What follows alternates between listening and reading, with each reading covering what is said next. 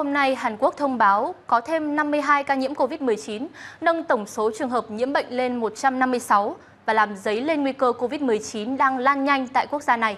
Chính phủ Hàn Quốc đã tuyên bố các thành phố phía đông nam là Daegu và Cheongdo là khu vực quan tâm đặc biệt sau một loạt trường hợp nhiễm COVID-19 tại đây trong những ngày gần đây. Số ca nhiễm COVID-19 ở Hàn Quốc đã tăng gần gấp 3 lần chỉ trong 3 ngày. Ngày 20 tháng 2, thành phố Daegu, phía đông nam Hàn Quốc đã được đặt trong tình trạng báo động sau khi Hàn Quốc ghi nhận ca tử vong đầu tiên. Hiện người dân tại thành phố 2,5 triệu dân này được khuyến cáo ở trong nhà và trường hợp cần thiết phải đi ra đường phải đeo khẩu trang đầy đủ. Quận Cheongdo thuộc Gyeongsang Bắc cũng đã được đưa vào danh sách khu vực quan tâm đặc biệt.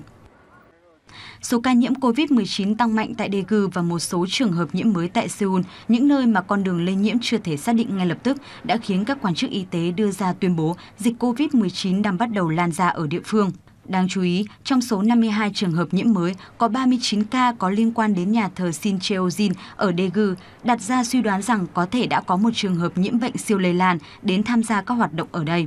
một người phụ nữ 69 tuổi dương tính với COVID-19 đầu tuần này đã tham gia các hoạt động ở nhà thờ vào ngày 9 tháng 2 và vào Chủ nhật tuần trước 16 tháng 2. Trung tâm ngăn ngừa và kiểm soát dịch bệnh Hàn Quốc cho biết vẫn chưa chắc chắn về việc liệu người phụ nữ này còn được biết đến là bệnh nhân thứ 31 có phải trường hợp siêu lây lan hay không, nhưng đã yêu cầu 1.001 người đến nhà thờ phải tự cách ly để ngăn chặn sự lan rộng của virus.